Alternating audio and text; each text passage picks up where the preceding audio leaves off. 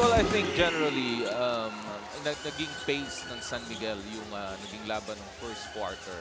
Uh, they were able to make stops on the defensive end and they were able to run. They were able to capitalize on their outside shooting and uh, uh, to couple that, hindi nakapag uh, hindi nakapag uh, taas ng percentage itong Hinebra sa kanilang shooting. So kaya nakikita natin yung lamang ng San Miguel. San Miguel, uh, very fluid in that first half. If you have fielded 11 players and 8 of them have scored at least 4 points, that's going to be a big problem to your opponent. No?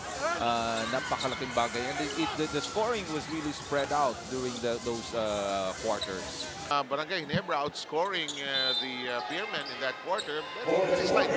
You have to remember they were down by as big as 24. Yeah. So that was definitely a quarter one by uh, Barangay Ginebra. We'll uh, see that last play. They had a lot of time left. They forced Alex Cabagnot to miss a shot.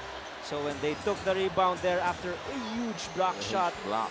by Japit Aguilar, they had a lot of time left. Pero hindi sila nakatawag ng timeout at they were forced to take a bad shot. Hindi tumawag ng timeout din. Huh? They had two to call. Two, time, two full timeouts to call. But well, we are into overtime. San Miguel eking out. It's really eking out. Nahirapan sila bago natapos ang Barangay Ginebra, Coach Ryan. Oh yes, and after being on top by 24 big points na wala yung kanilang kalamangan, pero yung parati kong sinasabi rito, especially dun sa mata ni Coach Leo Ostre, mo, okay na yung Montik matalo kaysa yung Montik manalo. Kasi Montik matalo, eh panalo pa rin naman sila.